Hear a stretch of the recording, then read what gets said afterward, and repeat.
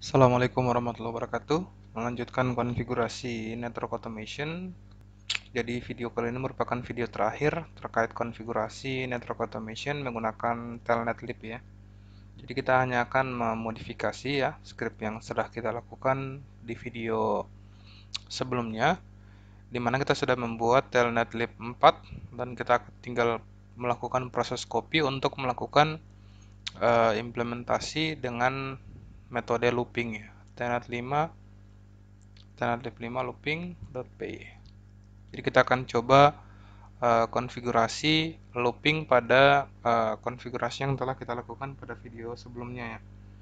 Oke jadi uh, implementasinya sangat mudah sebenarnya. Kita tinggal menambahkan uh, parameter sebuah variabel yaitu variabel ulang. Kita berikan opsi atau nilai awal y. Selanjutnya kita bisa membuat sebuah looping while.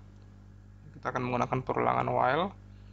While ulang sama dengan jika ulangannya sama dengan y, maka dilakukan hal sebagai berikut. Jika ulang ulangnya tidak sama dengan kayak seperti ini tidak sama dengan Y maka dia akan melakukan break program ya. Jika ulangnya T atau dimasukkan opsi lain selain Y maka dia akan menghentikan programnya. Jadi jadi e, untuk memasukkan seluruh baris ini ke dalam sebuah script ya ke dalam sebuah script e, perulangan kita tinggal melakukan uh, tabulasi atau kita geser ya. Kita coba geser semuanya seperti ini.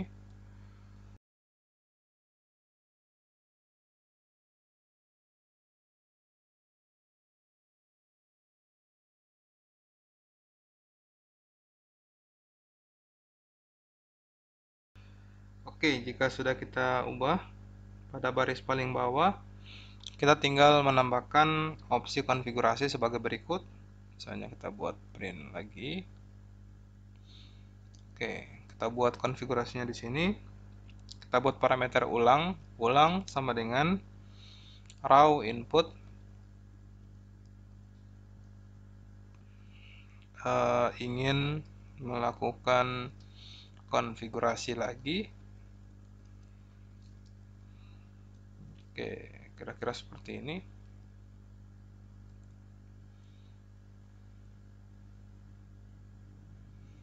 Oke kita ubah. Oh, y atau t